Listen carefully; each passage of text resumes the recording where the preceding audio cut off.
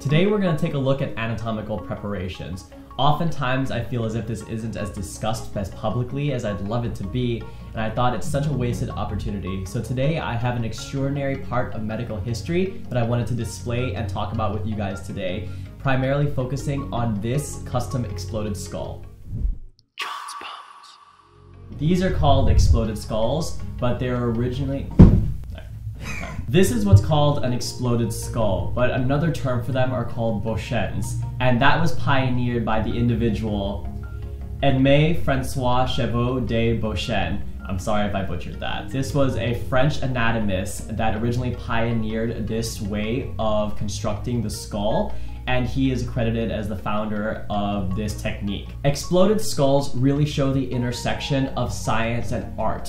Companies such as Auzoux and Vasseur Tramond were famous for doing beautiful preparations that showcased and highlighted the anatomy of the skull. These pieces ended up being extremely delicate and as a response, a lot of these pieces didn't survive due to damage or time.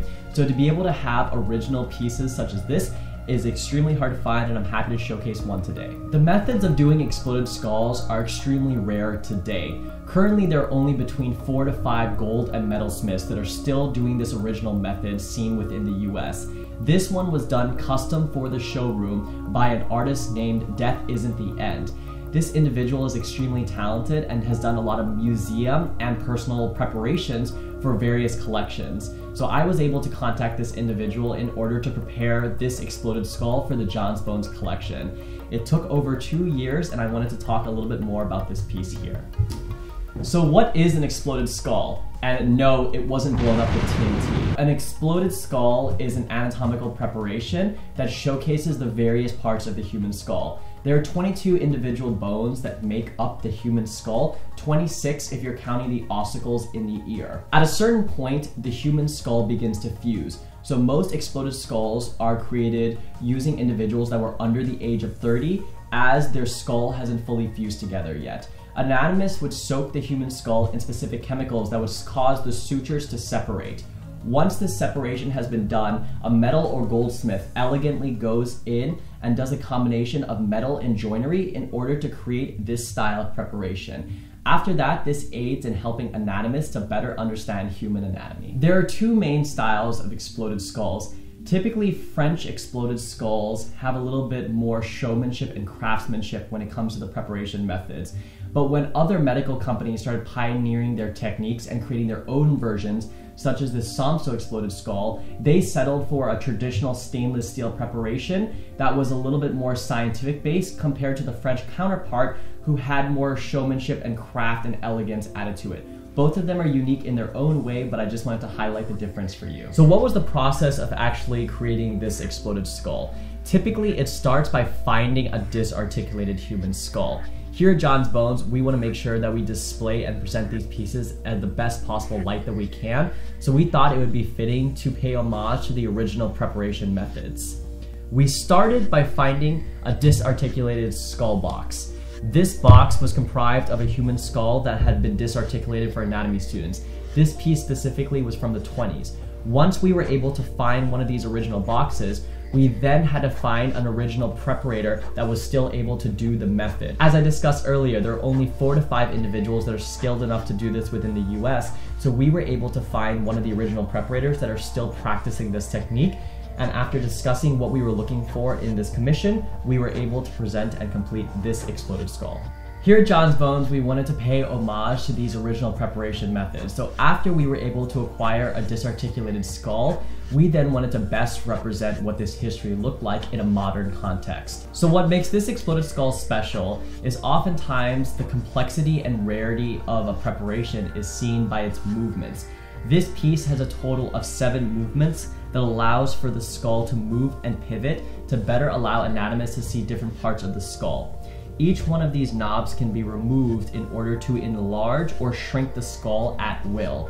Oftentimes, the more movements an exploded skull has, the more work and complexity went into creating it. So oftentimes you can view the rarity and complexity of an exploded skull based on how many movements it has. For instance, this German-made exploded skull by the company Somso has two total movements. when you remove this knob, you can actually move the skull back as well as open this. So this is a two movement complication compared to this exploded skull, which has seven total movements. Each of them are unique in their own way, but it's such an interesting categorization of how we see the complexity of exploded skulls. This piece was made by the artist Death Isn't the End. They've had over 20 years of gold and metal smithing experience, and personally, one of my favorite preparators in the market. He's actually famous for his gold accents that all of his pieces are seen having. He also specializes in museum quality restorations and preparations that are done.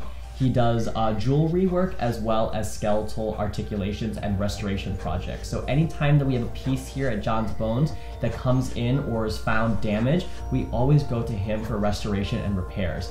Here at the business, it's our goal to make sure these pieces are respected and treated to the best of our ability. So any instance that we see that a piece would need an uplift, we always go to him for work. To really highlight the complexity of this piece, it took over a year and a half from the start of the commission to finally getting back in our hands. This process is extremely labor intensive, and another exploded skull that I'm in the current process of getting commissioned has been in the works for over two years. So this is an extremely delicate art form and craft, and it takes a long time to create these pieces, and as a response, they are extremely rare and hard to find. So we recently just got an extremely rare piece into the showroom. This is a real human spine that has been bisected. But what's odd and interesting about it, it actually suffers from kyphosis. Quick side note, scoliosis is an asymmetry from the side of the body. So when you look at a person head on, they either have an asymmetry from this plane but kyphosis is lesser known, and that's actually from the side. It's seen as a hunchback, so when you look at an individual from this angle, they actually have a hunch within their spine. That's the two major distinctions between scoliosis and kyphosis. This brings me back to the commission. Unfortunately enough, this piece came in with damage, and that really goes against our values. Here at JonsBones, our goal is to restore and make sure that these pieces are brought with the most amount of respect and dignity as possible. So after collaborating with Death Isn't the End, after five months of waiting, we finally got the piece back in the showroom and I wanted to unbox it with you guys today.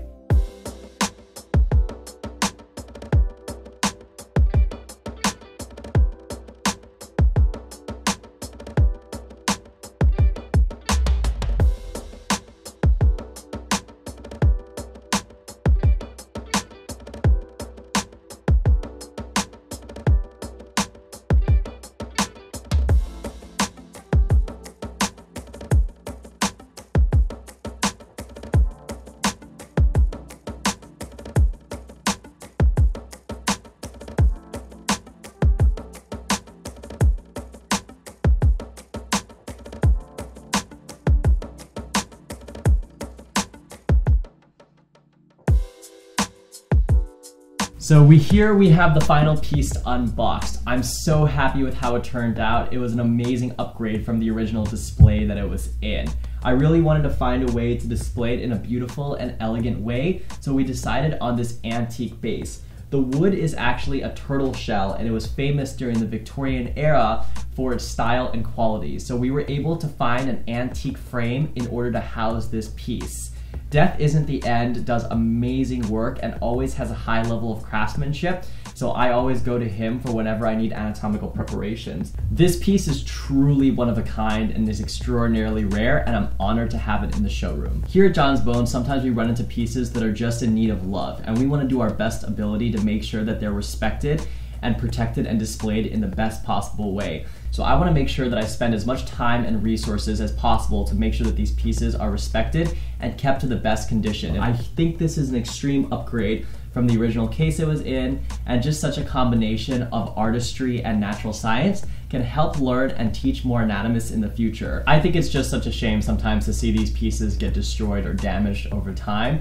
So I'm so glad that there are individuals like Death Isn't the End to provide their resources in order to allow us to mount and display such extraordinary pieces.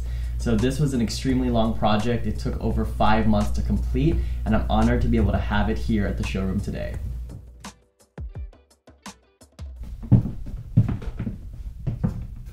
Now let's talk about future projects that we're doing here at JonsBones. Zoom on the camera. And she's gone. This was a skull we just got into the collection, and it came from an anatomy collection.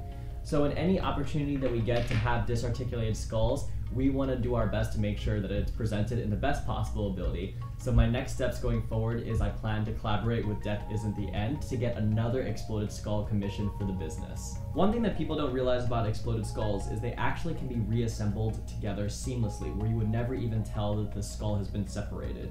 So this piece enough intact is an important educational tool, but I also then wanted to mount it in order to better allow anatomists to see different parts of the skull. So this is one of the processes that I've been doing within the next couple months. So just to visualize, this is the back half of the skull put together. I just wanted to showcase to you guys what it would look like visually from a disarticulated standpoint back to how the skull would look like assembled. This part of the industry isn't really talked about as much, so I wanted to be as transparent as possible to show you guys what is the process of how we get an exploded skull or disarticulated skull into the showroom and how we go step by step to eventually commissioning it and then getting a final product. So this is how it typically looks like once we get new pieces in. We determine and assess if it's able to be mounted and restored, and from there, we make the appropriate actions to then restore these pieces to its former glory.